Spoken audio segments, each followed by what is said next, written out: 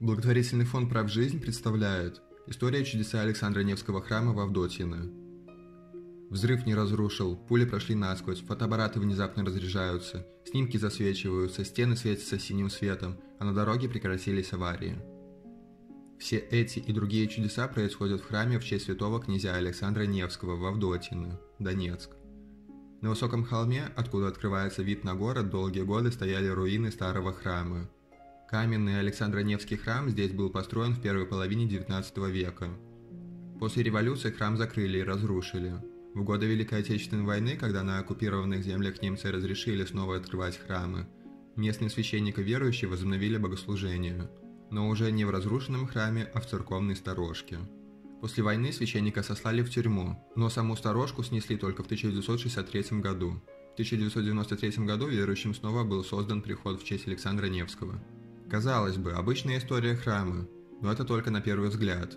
Историю храма сопровождают необъяснимые чудеса, о которых знает весь район. В 1937 году советская власть решила уничтожить Александро-Невский храм. К нему подвели взрывчатку, заложили внутрь и взорвали.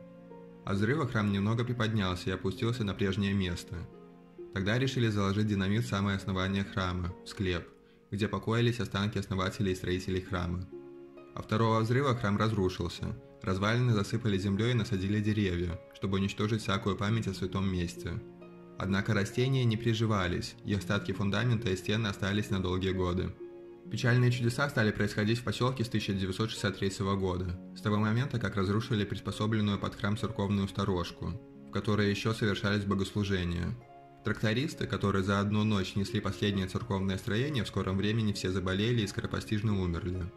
Тогда же был засыпан мусором церковный колодец, и загадочным образом исчезла вода во всех колодцах окрестных сел. Женщина-председатель поселкового совета решила перед закрытием храма забрать все церковные облачения, чтобы пошить себе платья и юбки. Вырядившись в одно из этих платьев, она прошла по поселку, чтобы всем показаться. На следующий день у нее началась страшная гангрена на ногах, от которой она долго и мучительно умирала. Трасса, которая проходит мимо руин храма, стала местом постоянных аварий – на каждом дереве венок, говорят про нее местные жители. В 2007 году храм было решено восстановить. Для этого был составлен проект храма, точно воспроизводящий первоначальный облик. И начались строительные работы, а с ними и новые чудеса. Так, например, практически перестали совершаться аварии на дороге возле храма. Когда были откопаны все камни первого храма, перед строителями встал вопрос, как их отмыть от грязи, чтобы использовать при строительстве. На следующий день начался ливень, хотя обычно в это время была сильная засуха продолжался три дня, пока камни не отмылись сами. Когда строители фотографировали фундамент, камни на всех снимках светились синим светом, а когда нашли останки основателей храма на месте разрушенного склепа, засветились и их рентгеновские снимки. У всех фотографов, которые пытаются снимать строящийся фундамент, фотоаппарат загадочно разряжается.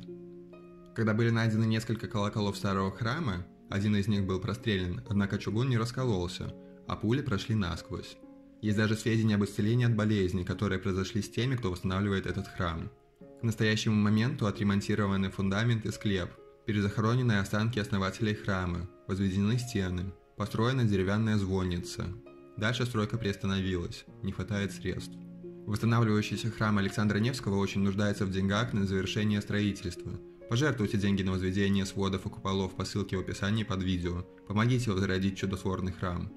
Совершить пожертвование можно, пройдя по ссылке, которую мы разместили в описании к этому видео, или по ссылке, которая появится на экране в конце ролика. Оказать помощь можно делом, позвонив батюшке и предложив свой труд, инструменты или материалы для восстановления храма и реализации храмовых проектов. Нет возможности помочь деньгами или делом? Помогите словом, помолившись за батюшку и его прихожан. Список имен в описании к видео. И самое простое – поделитесь этим видео со своими друзьями.